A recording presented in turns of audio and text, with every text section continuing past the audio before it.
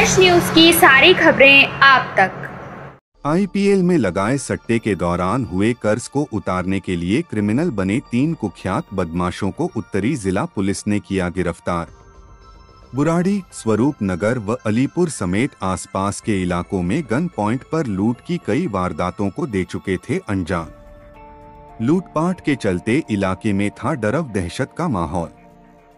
Police ने 100 से ज़्यादा सीसीटीवी कैमरे खंगालने के बाद आरोपियों को हरियाणा के कुंडली थाने के सिरसा गाँव से किया गिरफ़्तार। नमस्कार तीस जून को हमें एक पीसीआर कॉल मिली थी, जिसमें एक प्रॉपर्टी डीलर के यहाँ पे आर्म्ड रॉबरी की खबर मिली थी। इंसिडेंट हुआ था कि दिन में दो जने armed with pistols property dealer की ऑफ़िस में घुसे थे बुराड़ी में और वहाँ पे उसने जो कड़ा और चेन और जो भी वैल्यूबल आइटम्स पहन रखे थे, वो सब वो उठा के ले गए थे। ये रॉबरी की खबर मिलने के बाद इस पे जब केस रजिस्टर करके इन्वेस्टिगेशन चालू की गई तो इन्वेस्टिगेशन के दौरान इनके जो एमओ है और जिस तरीके के विजुअल्स आ रहे थे सीसीटीवी के थ्रू उससे ये शक हुआ कि कुछ दिन पहले उसी इलाके में आसपास एक प्लाईवुड की दुकान थी जिसपे भी सिमिलर लूट हुई थी। उसमें भी मोटरसाइकिल पे कुछ जने आए थे और पिस्टल दिखा के वहाँ पे जो कैश रजिस्टर था उसमें जो पैसे थे, उनको लूट के ले गए थे।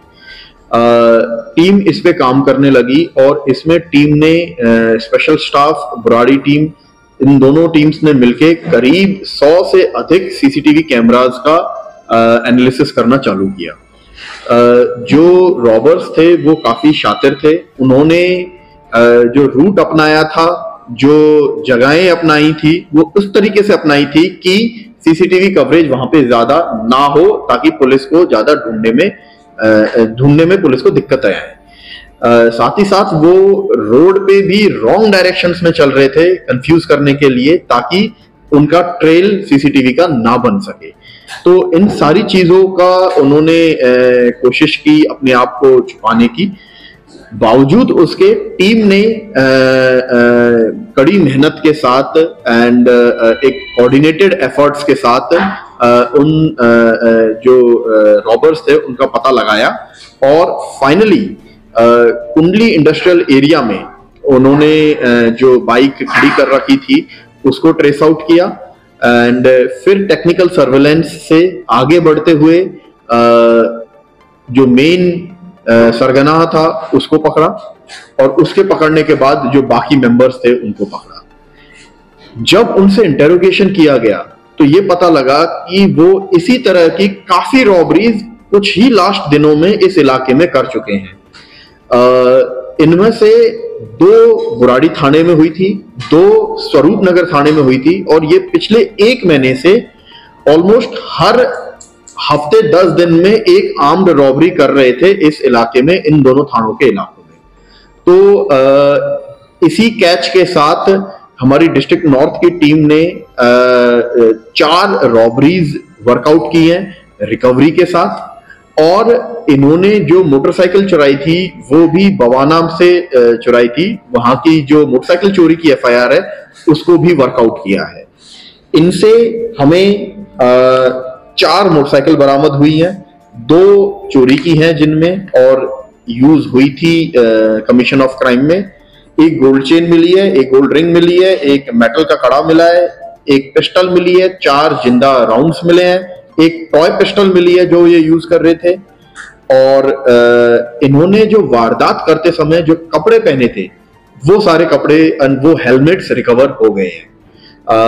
ये बुराड़ी और स्पेशल स्टाफ की टीम का बहुत अच्छा एक काम है जिससे लगातार जो रॉबरीज हो रही थी वो रुकेंगी और उस इलाके में आ, आ, जो क्राइम है उस पर अंकुश लगेगा। हमने जो अरेस्ट किया है उनमें एक रविंदर है। ये सरसा गाँव है सोनीपत ज़िले में। वहाँ का रहने वाला है सैतीस साल का है। प्रीवियसली इस पे रॉबरी का मुकदमा है कुंडली पीएस कुंडली में पीएस कैथल में हरियाणा के दो हैं और पीएस अलीपुर में दिल्ली में। तो हाँ? ये वहाँ कुंडली इंडस्ट्रियल एरिया में टिफ़िन सप्लायर का काम करता था लेकिन ये रॉबरीज भी करता था। दूसरा जो अरेस्ट किया है ये कुंडली इंडस्ट्रियल एरिया में सिक्योरिटी गार्ड का काम करता था। और इसकी पहले कोई इन्वॉल्वमेंट नहीं है ये लेकिन चारों रॉबरीज में ये रविंदर के साथ इन्वॉल्व था। साथ ही दो रॉबरीज जो आ, आ, दूसरे पुलिस स्टेशन में हुई थी उनमें से एक रॉबरी में एक तीसरा शख्स भी शामिल था जिसको भी आइडेंटिफाई कर लिया गया है एंड उस पर भी आगे इन्वेस्टिगेशन चल रही है। दूसरे को कैसे जानते थे? जो रविंदर और मनदीप हैं ये एक ही गाँव के थे ये दोनों सरसा गाँव से हैं और जो तीसरा आइडेंटिफाई किया है वो नरवाना हरियाणा से है।